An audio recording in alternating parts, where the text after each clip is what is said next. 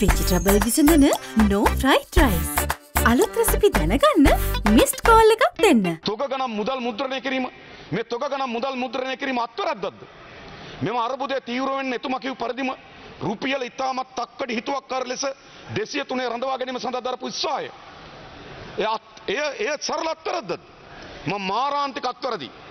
ඔබතුමා දන්න එක්දා සමසය අනුවත මෙයි මාසය දෙවනිදා. තායිලන්ත මේ වගේ අර්බුදයක් ආවා. ඩොලරයක් වෙනුවන්ගේ බාත් විසි පහයි. පව්වදා ඩොලරය වෙන බාත් පණහා දක්වා වැඩි වුණා. ඩොලරය බාත්තකට සාපේක්ෂ ඩොලර විශාල අගයක් ඉහළ ගියා. පසුව මොකද කරේ? ඒ සාමාන්‍ය පුරවැසියලා නඩුවක් දැම්මා. ඒ නඩුව අනුව තායිලන්තයේ මහ බැංකුවේ අධිපතිවරයා හිරේ ගියා.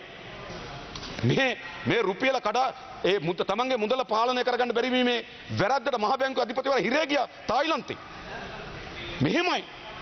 මේ රටක් මුළුමනින්ම ආර්ථික විනාශ කරලා රටක් මුළුමනින්ම කාබාසිනය කරලා රටේ රටේ පුරවැසියන්ට ලෙඩ්ඩුන්ට බෙහෙතක් ගේන්න බැරි තත්ත්වයක් ඇති කරලා රටේ පොහොර ටික පොහොර ටික ලබා දෙන්න බැරි තත්ත්වයක් ඇති කරලා කුසට ආහාර ආහාර වේලා කුප්පිය ගන්න බැරි තත්ත්වයක් ඇති කරලා කර්මාන්ත වලට අමුද්‍රව්‍ය ගෙන්වා ගැනීම බැරි තත්ත්වයක් ඇති කරලා මුළු රටක්ම ආර්ථික අමුසෝන බවට පරිවර්තනය කරලා අනේ අපි අතින් හීනී වැරද්දක් වුණා කියලා පිළිගැනීම සාධාරණයි.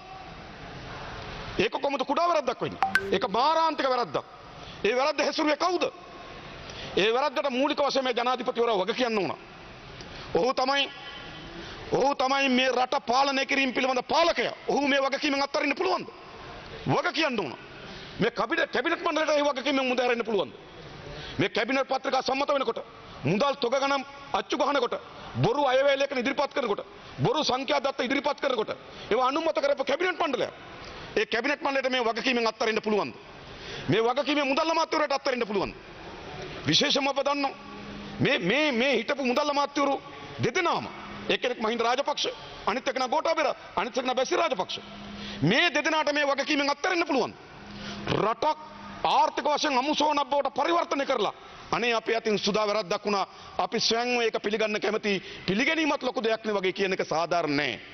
මේක කුඩා වැරද්දක් නෙවෙයි ඒක මාරාන්තික වැරද්දක්.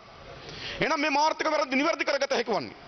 මෙවැනි ආර්ථික වශයෙන් විශාල ප්‍රපාතයකට මේ විශාල ජන පීඩාවට ලක් කරපු පාලක කණ්ඩායම ඉවත් වෙන්න ඕන. එසේ නැතුව කොහොමද මේකට සාධාරණ කිටුවන්නේ? එය කුඩා කුඩා පුටු මාරු කිරීම, කුඩා කුඩා තනතුරු මාරු කිරීම නෙවෙයි. මම ඔබතුමාගේ තනතුරු පිළිබඳ ප්‍රශ්න කරනවා නෙවෙයි. හැබැයි එයින් මේට විසඳුමක් ලැබෙන්නේ නැහැ. ඔබතුමා අවසාන වශයෙන් කිව්වේ මොකද්ද? මේ සඳහා පාර්ලිමේන්තුව ඔක්කොම එකතු වෙන්න ඕන. ඔව්. එහෙම එකතුවක් අවශ්‍යයි.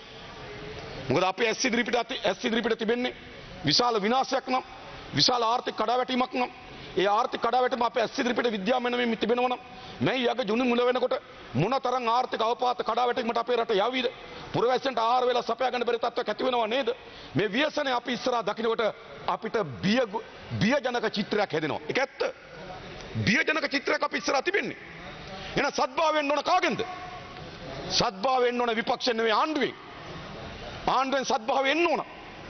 මේ අර්බුදය වර්ධනය කරන්න අවුරුදු දෙකමාරක් මේ පාර්ලිමේන්තුවෙත් මින් පිටතත් මේ ගනු ලැබූ තීන්දුව පිළිබඳ මොනතරම් කතා කරාද මේ බදු සහනය 2020 ජනවාරි මාසේ පළවෙනිදා ලබා දෙනකොට 2021 අත්තරේ කියලා බලාපොරොත්තු වුණා. 2022 අත්තරේ කියලා බලාපොරොත්තු වුණා. කරේ නෑ තමුන්වන්සලා තමුන්වන්සලා ඒක ඉතාමත් ආස්වාදයෙන් කතා කරන්න පටන් ගත්තා. අපේ කර්මාන්ත ඉහළ දන්වන්න අපේ ආයෝජන ඉහළ දන්වන්න අපේ පෞද්ගලිකංශ දිරි දෙන්න තමයි මේක කරේ කියලා කිසි ප්‍රතිඵලයක් අත්පත් කරගන්නේ නැහැ ඒ ප්‍රතිවිපාකවල මුදල් තොග ගණන් අච්චු ගන්නකොට මේ පාර්ලිමේන්තු කිව්වා.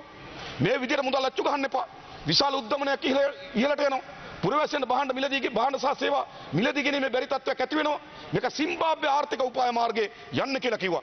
ඒ වෙලාවේ නව ආර්ථික සලස් නව ආර්ථික න්‍යායක් නව මූල්‍ය න්‍යාය කියලා කබ්‍රාල් මෙතන දොඩන්න පටන් ගත්තා.